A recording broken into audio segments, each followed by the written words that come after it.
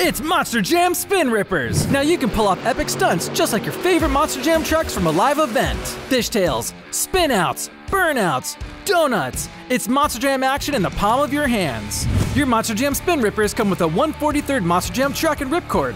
To get your truck ready for action, hold it from the top. Make sure not to hold your truck by the wheels. This could affect its performance. Next, take the ripcord and slide it in the slot in the back of the truck. Hold the ripcord by the handle and make sure the teeth are facing down. Push the cord all the way in to ensure your truck gets maximum power. Hold your truck firmly, pull the ripcord, and place your truck down.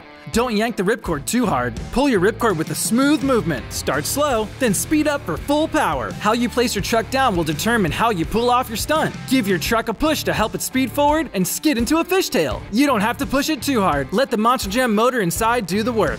Give it a smaller push and watch it spin out. Hold it in place for a moment for a cool burnout, or place it straight down and pull off epic donuts. Now that you know how to use your Monster Jam Spin Ripper truck, you'll have fun pulling off epic Monster Jam stunts over and over again.